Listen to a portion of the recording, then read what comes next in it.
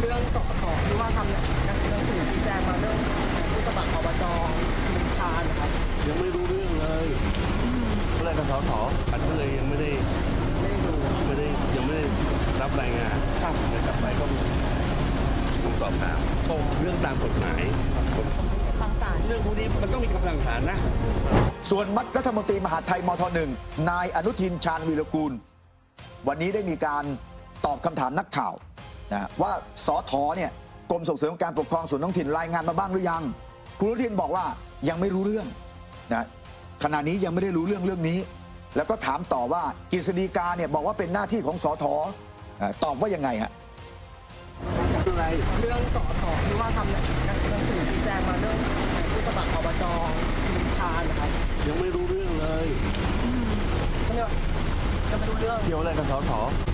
ฎีกาบอกว่าเป็นหน้าที่ของสอทอะหัวหน้ากฤษฎีกาบอกว่าเป็นหน้าที่ของสอสอเหรอยังไม่ศึกษาเลยพอดีวันนี้อยู่ต่างจังหวัดอยู่ต่างจังหวัดก็เลยยังไม่ได้ไม่ได้ดูไม่ได้ยังไม่ได้รับรายงานครับเดี๋ยวกลับไปก็คงสอบถามครับ รื่องนี้ก็ให้เป็นเรื่องของกรมเรื่องตามกฎหมาย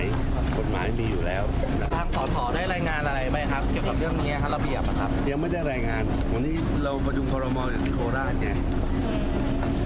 แต่ถ้ากฤษฎีกาบอกว่าสอทอจะมีอำนาจในการสั่งแล้วเดี๋ยวเดี๋ยวโทรถามท่านประกรณ์ไม่ใช่ไม่กิจกิจการบอกว่าหยุดโดยอัตโนมัตินะแต่ถ้า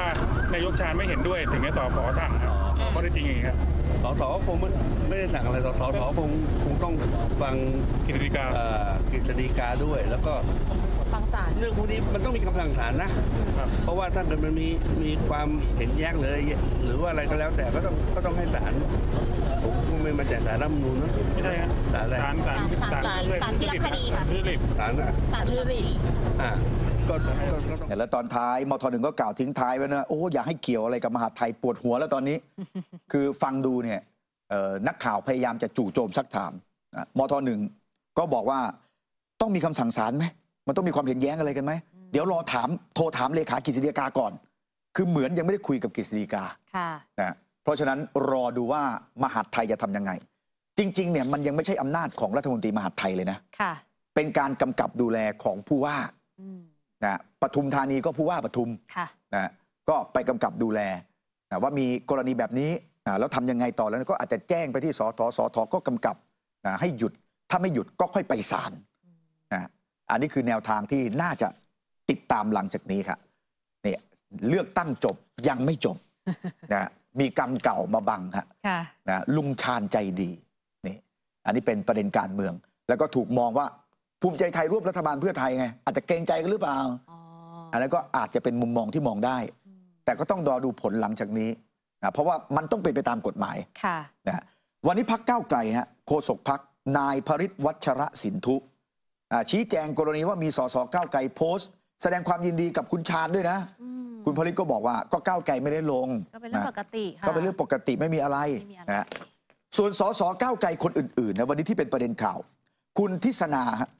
ในแฟนเพจลุกเมียนมาอืมลุกเมียนมาเนี่ยเขาได้นำเอาภาพที่คุณทิศนาเนี่ยโพสต์นะไปตั้งคำถาม คือมันเป็นข้อความที่อยู่ใน X นะคะของคุณทิศนาค่ะ เป็นภาพที่เจ้าตัวเนี่ยนะคะได้มีการทวิตเป็นเกียรติอย่างยิ่งที่ได้พูดคุยแลกเปลี่ยนกับอดีตสสพัก NLD NLD ก็คือพักขององซานซูจีอะค่ะอ๋อขอให้เมียนมาเนี่ยได้รับประชาธิปไตยในวันนี้ คือฝ่ายที่ต่อต้านรัฐบาลทหารไงคะ ในแฟนเพจลุกเมียนมาเขาก็เลยบอกว่า ขอบคุณคุณทิศนาชุนหวันที่แจ้งข่าวว่ามีอดีตสส NLD ใช้ไทยเป็นฐานเคลื่อนไหวทางการเมืองโอ้โอ้ประเด็นนี้ละเอียดอ่อนเหมือนกันนะคะ คืออวดไง อวดอวดอวดว่าได้คุยกับสสเออนะของพรรค NLD ฝ่ายค้านของเมียนมาใช่ค่ะนะฝ่ายต่อต้านรัฐบาลค่ะนะแต่เพจลุกเมียนมาซึ่งเขาตามการเมืองเมียนมาเนี่ยก็เลยบอกโอ้ขอบคุณนะ เราเลยรู้เลยว่ามีสสฝ่ายค้านเนี่ยใช้ไทยเป็นฐานเคลื่อนไหวทางการเมือง แล้วมันเป็นการเมืองระหว่างประเทศไงมันไม่มันไม่ใช่เรื่องดีโอ้นะโหค่ะ ส่วนทางด้านของคุณเจี๊ยบอมรัตน์โชคประมิตรกุลนะคะ ล่าสุดค่ะมีการทวิตข้อความนะคะพิธาสง่าคม ฉลาด จับประเด็นเก่ง สื่อสารดี เป็นคนที่เอาใจใส่ ผู้นำที่ได้ใจคนในพักคืออวยคุณพิธาค่ะ ความรู้ความสามารถด้านการเมืองสูงมาก เรียนมาด้านนี้โดยตรง มีเสน่ห์เป็นคนที่สง่างาม ถ้าไปอยู่บนเวทีโลกนะ โอ้โห เสียดายมากทำไมเราไม่ได้คนแบบนี้เป็นนายกรัฐมนตรีนะตำแหน่งนี้เป็นแค่ตำแหน่งชั่วคราว แล้วไม่ถูกใจประชาชนไม่ต้องเลือกก็ได้ คือใช้พื้นที่ของตัวเองเนี่ย อวยคุณพิธาเต็มที่เลยว่าเอ๊ะทำไมคุณพิธาครับ เก่งขนาดนี้ไม่ได้เป็นนายกสนาสง่าคม ฉลาด ค่ะมีเสน่ห์ค่ะ นะฮะโอ้โห ก็เป็นปกตินะที่ลูกพักจะต้องอวยหัวหน้าพัก ถูกไหมฮะค่ะนะแต่ถ้าอวยขนาดนี้เนี่ย ไม่เขินตัวเองก็ไม่รู้จะว่ายังไงนะนะมีทหารเอาไว้ทำไมเนี่ย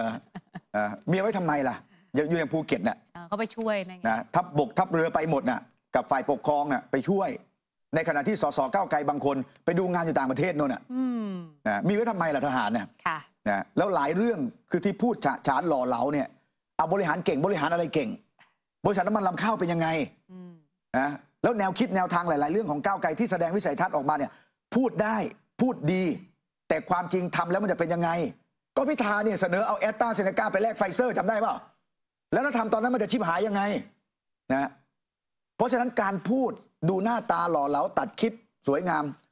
อะเขาถึงบอกว่าจุดแข็งสำคัญที่สุดก็คือการที่ไม่ได้บริหารจริงๆอะอยู่ในโลกเสมือนในโลกโซเชียลเนี่ยจะพูดยังไงมันก็พูดได้ไงอืมนะพูดหาเสียงปั่นไปเรื่อยให้ดูเท่ดูหล่อดูสมาร์ทตัดมาแบบคลิปสั้นๆ แต่ใช่ไหมของจริงเนี่ยมันไม่ได้เป็นแบบนั้นไงเห็นไหมอันนี้เจี๊ยบก็สุดแท้แต่จะอวยค่ะนะแล้วก็หลายเรื่องที่เราเห็นไปแล้วก็คือพรรคก้าวไกลเนี่ยไม่ตรงปก อย่างเท่าพิภพก่อนหน้านี้ถ้าจำได้ เสนอปรับลดงบอาหารสวสสลงครึ่งหนึ่งแล้วขอตัดงบสภาในการเดินทางไปต่างประเทศเลยอะร้อยเปอร์เซ็นต์นี่เท่าพิภพนะ แล้วมาดูปัจจุบันสิ ข้อเท็จจริงที่เกิดขึ้น นี่แบนเนอร์ของก้าวไกลโกหกอะไรฮะนะเที่ยวทั่วโลกไปกับก้าวไกลแอร์ไลน์ได้ไปดูงานที่ไหนบ้างนะเขาล้อมีทั้งเรียนเขาล้อเลียน ยุโรปนะคะมีทั้งเอเชีย สวีเดนโปแลนด์อังกฤษเกาหลี เขาล้อเลียนว่าเป็นก้าวไกลแอร์ไลน์ค่ะ ทุกคนคะเจอแล้วสายการบิน ที่ผลาญเงินภาษีมากที่สุด สิ่งที่พูดคือ ถึงเวลาเลิกใช้งบที่ไม่เกิดประโยชน์ เราต้องใช้อย่างมีประสิทธิภาพนะ เช่น ลดงบไปดูงานต่างประเทศเป็นต้นเออแต่สิ่งที่ทำก็คือไปดูงานบวกไปเที่ยวหรือเปล่า ไปฝรั่งเศส ไปอังกฤษ ไปเดนมาร์กไปนอร์เวย์ ไปสวีเดน ไปเยอรมันไปเบลเยียมไปเนเธอร์แลนด์โปแลนด์ญี่ปุ่นเกาหลีใต้จีน อันนี้เป็นต้นนะคะ ติดแฮชแท็กภาษีกูค่ะ แล้วในคอมเมนต์นะฮะเขาก็ย้อนความจำฮะค่ะ นะว่าไอ้สิ่งที่พูดกับสิ่งที่ทำเนี่ยมันตรงหรือเปล่าที่บอกว่าคิดดีพูดเก่งนี่นะเนี่ยปากดีว่าถึงเวลาเลิกงบที่ไม่เป็นประโยชน์เอาสุดท้ายแล้วเป็นยังไงนะฮะแล้วก็มีอีกนะอาจารย์ปิยบุตรนะทนกระแสสังคมไม่ไหวก็ออกมาโพสต์ตอนนั้นเออนะเปลืองงบประมาณแผ่นดินไปดูงานนี่นะนะถ้าไม่ยกเลิกก็ต้องเคร่งครัด อยากเห็นสสก้าวไกลทำเป็นตัวอย่างครับแอดมินเป็นตัวอย่างมากแอดมินบอกโอ้โหไม่ฟังมาร่วมสนับสนุนท็อปนิวส์นำเสนอความจริงได้แล้ววันนี้ เพียงกดปุ่ม Super Thanks แล้วเลือกจำนวนเงินตามที่ต้องการได้เลยครับ ขอบคุณครับ